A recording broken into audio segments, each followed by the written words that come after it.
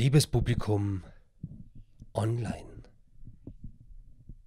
In dieser doch recht schwierigen Zeit ein Gruß aus meiner Isolation in die eure. Nämlich eine Rezitation aufgenommen in meinem Arbeitszimmer in Alpbach im Tiroler Unterland.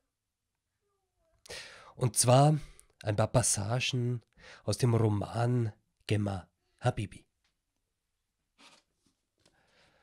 Letztes Jahr bei Ulstein erschienen.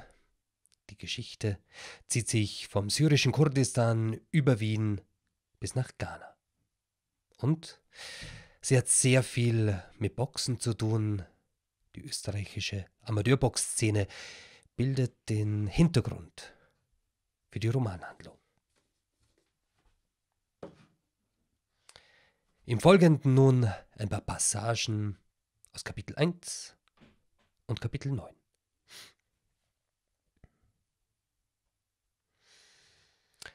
Links, rechts. Simon bandagiert meine Hände, führt das rote Band abwechselnd ums Gelenk und zwischen den Fingern hindurch, fest genug, um Schutz zu sein für die Knochen unter der Haut. Langsam, gewissenhaft. Er hält seine Augen auf meine linke, meine rechte. Ich weiß, dass in seinem Blick eine besondere Zärtlichkeit liegt. Er tippt mir auf die Schulter und zur Antwort forme ich eine Faust. Es ist ein stummer, einzig aus Berührung bestehender Dialog. Er kontrolliert sein Werk, blickt hoch.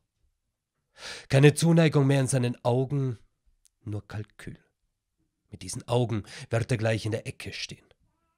Du machst ihn fertig. Kein Problem, sagt er und zieht meinen Kopf zu sich Stirn an Stirn. Er sagt, du hast Herz, Junge. Alter Boxersprech, dein Herz, mein Herz. Vor jedem Kampf eine Anrufung dieses besonderen Organs, Metapher für Willen oder Irrsinn, was auch immer dich selbst gegen einen übermächtigen Gegner durchhalten lässt. Eine Litanei, die in jeder Umkleide, jeder Mehrzweckhalle millionenfach geflüstert oder rausposaunt wurde vor jedem Fight, der je zwischen hier und Kapstadt oder Reykjavik stattgefunden hat. Der Raum ist erfüllt von den zischenden Atemstößen schattenboxender Gestalten. Österreichische Staatsmeisterschaft 2015 Finaltag. Aus dem Saal dringt Geschrei, wegen eines Groß vielleicht, dessen Anblick das Publikum von den Plätzen gerissen hat. Alle horchen auf. Auch Simon hält inne, sagt, Christine ist gerade dran. Als ich zu boxen anfing, bläute sie mir das Wichtigste ein.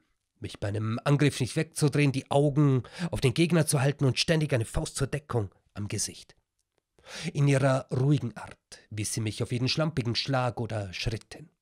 Als ich sie das erste Mal bei einem Turnier sah, überraschte mich die jagende, halsbrecherische Kampfweise, die sie innerhalb der Seile zeigte. Hoffentlich bedeutet das Schreien nicht, dass sie am Boden liegt. Jetzt, mit bandagierten Händen, ist es definitiv und unausweichlich. Nervosität, Vorfreude, kribbelige Mischung, mein Körper muss warm werden, mein Kopf kühl bleiben.